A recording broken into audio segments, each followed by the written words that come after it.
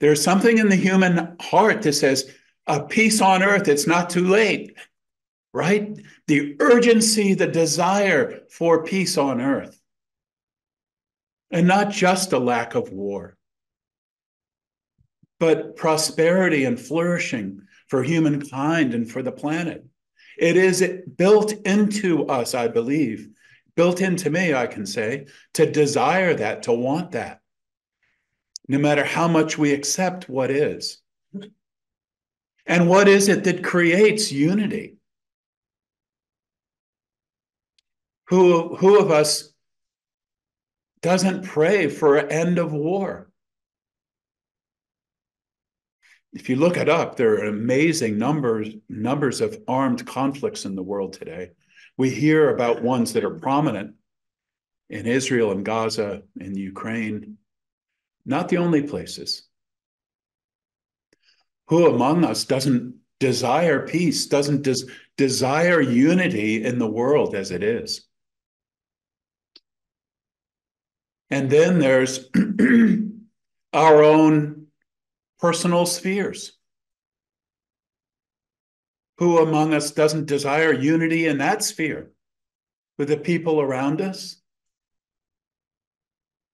With our families, our communities, our friends?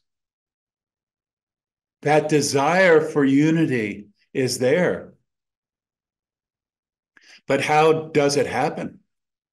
It seems so hard to attain. Not that it's never shared among people, but it's something that prevails. Many years ago, emissaries of divine light participated in and then hosted annual human unity conferences.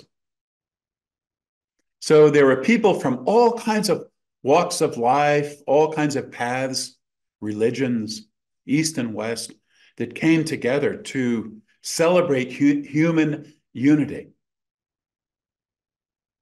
And it was at the same time marvelous and not always so unified as it can be when you bring people together from all kinds of places. I believe there was one here in Vancouver, in Boston, in the UK. What is it that creates unity? I think it's elusive as long as the inner factors are ignored. In other words, as long as we're just trying to get people from different cultures together, different religions together, different personalities. Good, good luck with that one, right? Um, just trying to get human personalities together without evoking something more as something inner, an inner sense of connectedness. Whoa, that's hard work. That's hard work.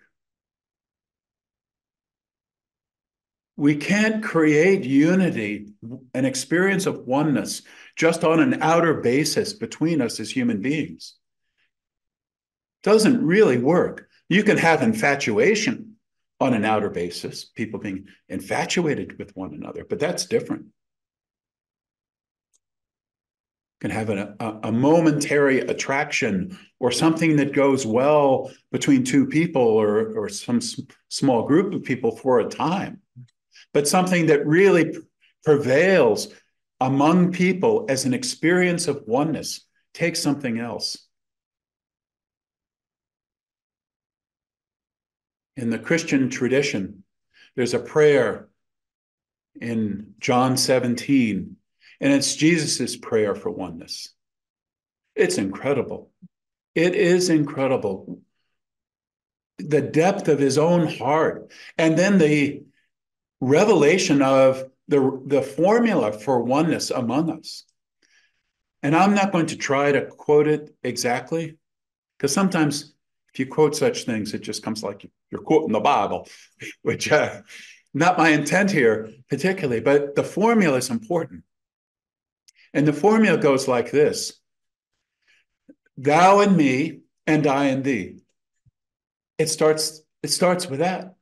Thou in me, and I in thee. like there's something higher and greater that's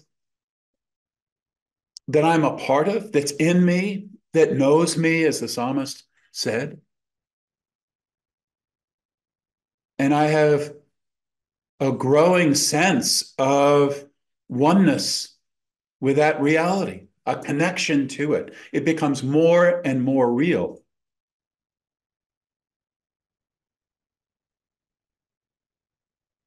And then the other part of the prayer is, and us in them. I and thee, and thou and me, and us in them. Because when we're having an experience of communion internally, individually, then there's something to share with the people in the world.